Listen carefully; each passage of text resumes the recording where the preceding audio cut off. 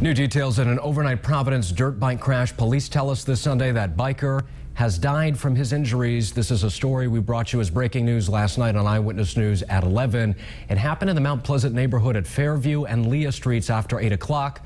We're told the 21-year-old biker went through a stop sign and hit a car. The driver of that vehicle was not hurt.